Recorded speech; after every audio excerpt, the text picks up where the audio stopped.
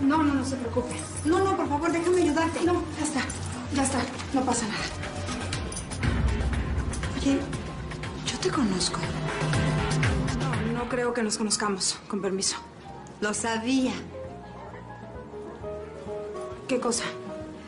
Ese collar es de la última colección de Tiffany. Sacaron muy pocos, numerados, exclusivos.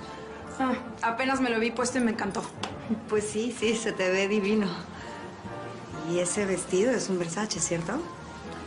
No, no, de hecho es de un diseñador mexicano. No, no puede ser.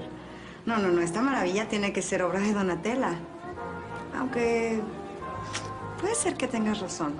Con razón luce también en esas curvas latinas. Mis disculpas. Creo que ya sé dónde te he visto antes. ¿En el hotel? En el mismo hotel donde nos hospedamos Cristóbal y yo.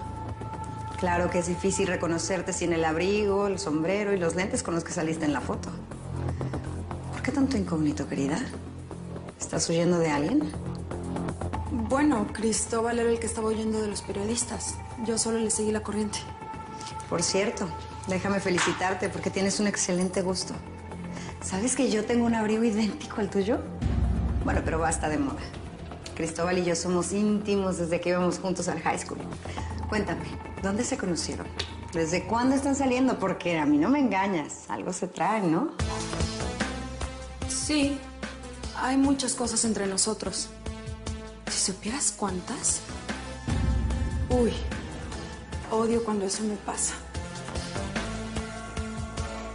Nos vemos luego, Sara. Un placer.